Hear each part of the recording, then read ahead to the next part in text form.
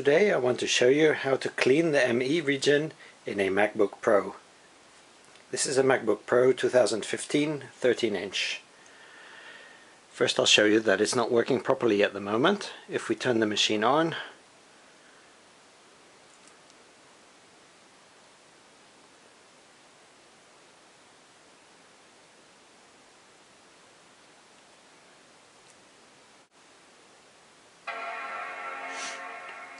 If we turn the machine on, we get an apple. We get the bar loading, everything looks fine and dandy so far.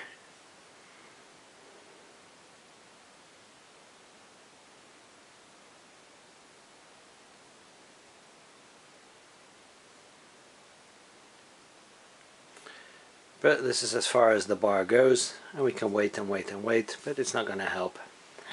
In this particular case, the problem is caused by a corrupted ME region.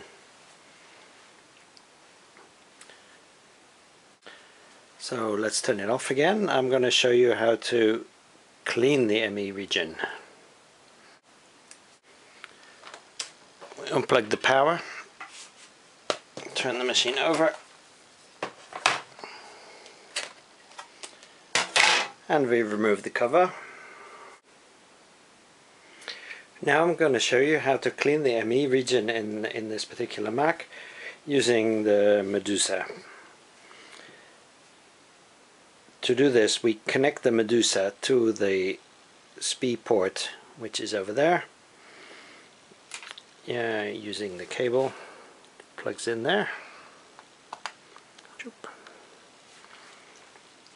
As you can see the Medusa says no chip seen so so far it's not working. So we plug in the power cord.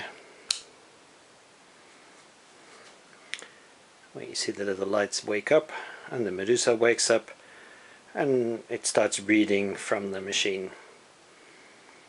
Um,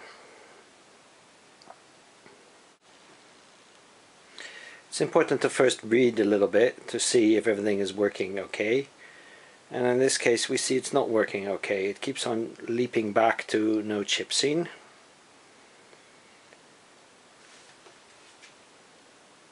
We would like it to read more parameters. So we try disconnecting power. We try reconnecting power.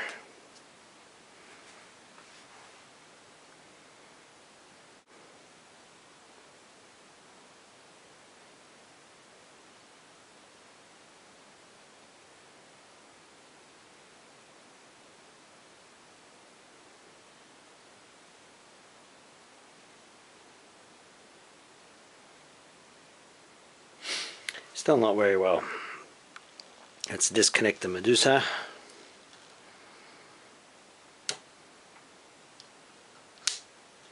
Connect the power.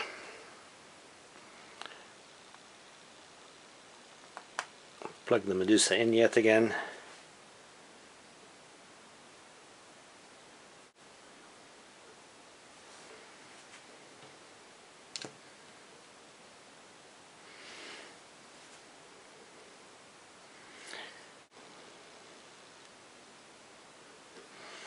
Now ironically it's reading just fine even though the power is not plugged in.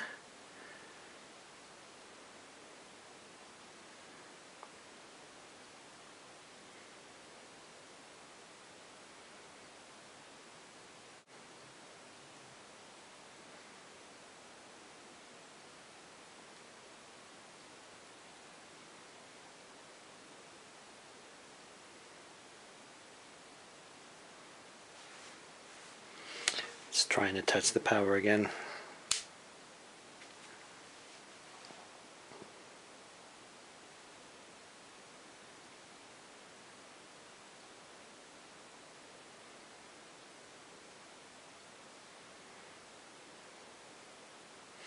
Okay, that's more like it. Now it seems to be reading okay and the lights on the Medusa are blinking.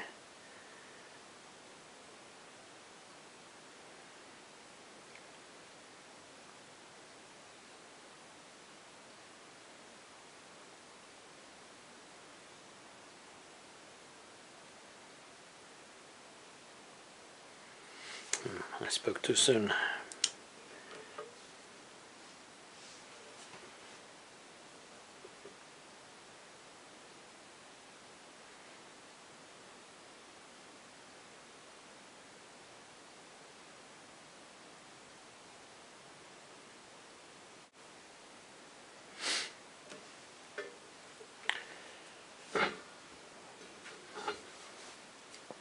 Well, surprisingly it's working better without power than with power.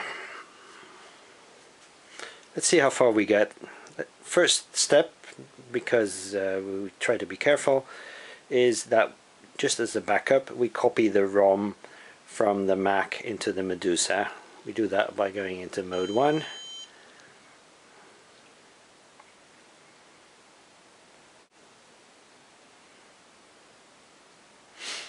So first it erases the ROM and the Medusa.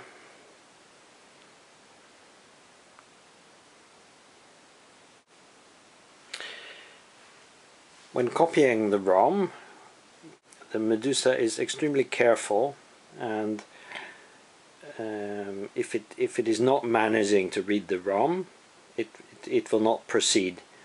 So if it does manage to copy the ROM, you know that it did actually read it properly.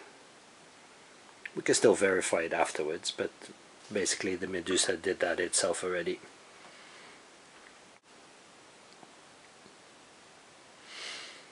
Okay, now it's starting to copy the ROM.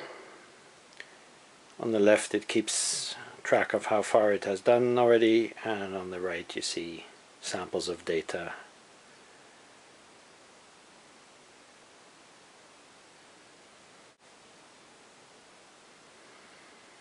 and while reading it, it is continuously monitoring whether it is really reading the ROM chip or whether it's just reading rubbish. And if it's reading rubbish, it will keep on trying.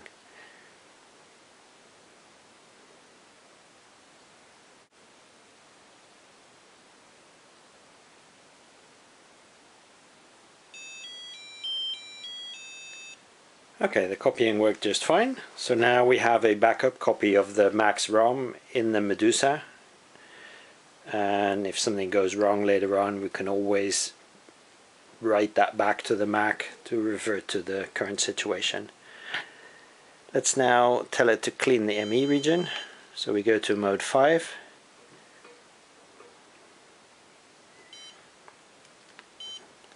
Now because it's writing to the Mac, it, we have to confirm by pressing the button.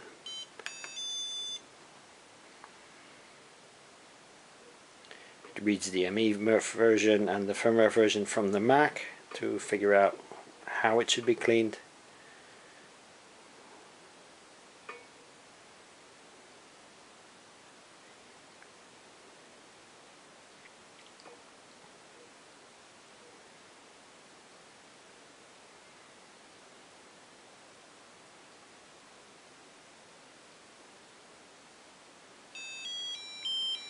Okay, and we're done. So let's now try and run the Mac and see if it's, uh, it's magically fixed. So unplug this very carefully. Get this to the side.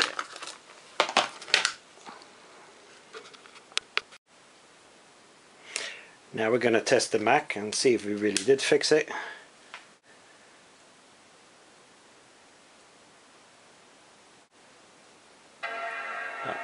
Comes already.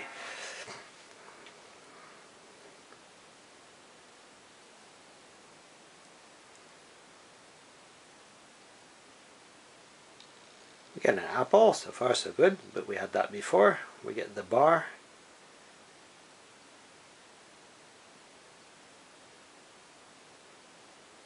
And now already we get a cursor. You see the bar already continues beyond where it went before.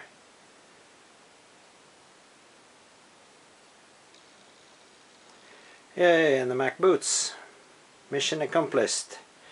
The ME region has been cleaned and we have even shown that the original problem was the ME region because that's the only thing we changed. Thank you for watching and remember that the Medusa is a brilliant tool for doing stuff like this.